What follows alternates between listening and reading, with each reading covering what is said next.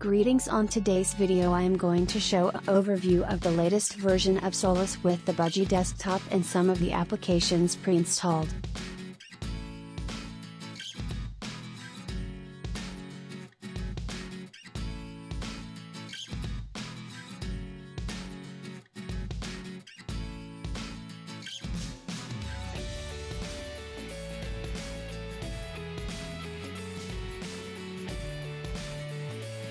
Solus, previously known as Evolve OS, is an independently developed Irish operating system for the x86-64 architecture based on the Linux kernel with a choice of desktops from the homegrown Budgie desktop environment, GNOME, Mate or KDE Plasma.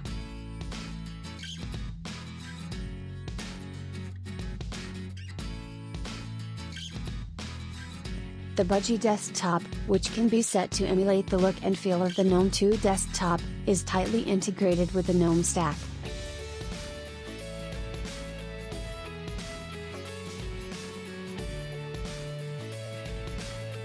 The project's latest version is 4.2 which includes package updates across key components. The Budgie desktop has gained improvements and features a new system tray and better support for desktop icons.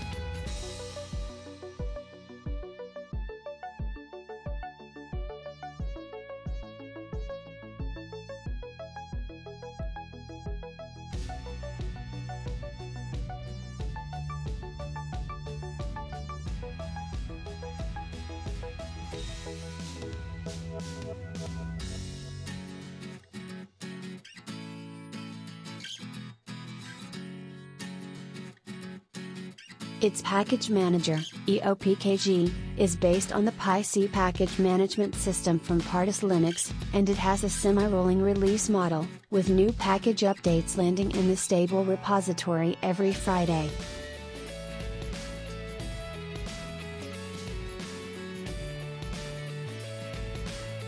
The developers of Solus have stated that Solus is intended exclusively for use on personal computers and will not include software that is only useful in enterprise or server environments.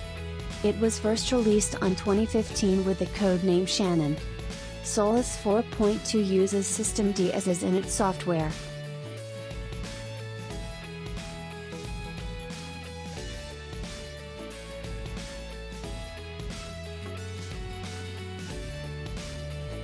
For package management Solus 4.2 uses the OPKG, Snap and Flatpak.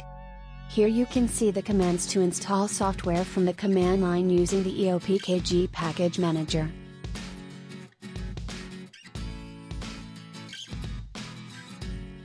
For self-contained applications Solus 4.2 uses Snap and Flatpak.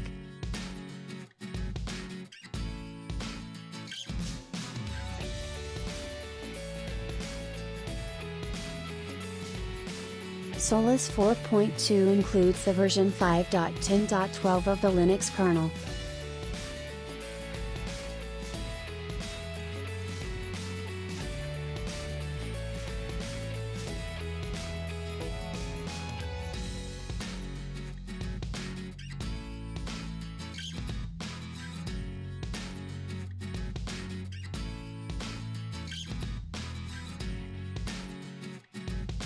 Some of the default applications in Solus are Firefox as the default internet browser and Thunderbird for email.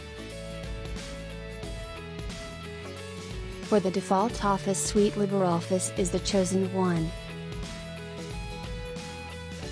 The media applications are GNOME MPV and Rhythmbox Media Player.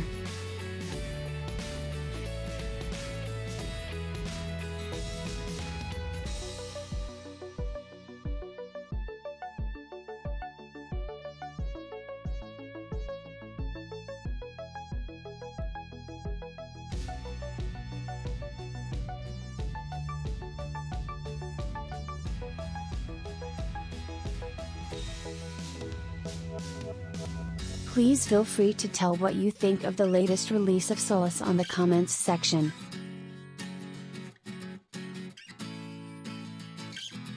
Thank you for watching the video and please help the channel by sharing leaving a like and subscribing.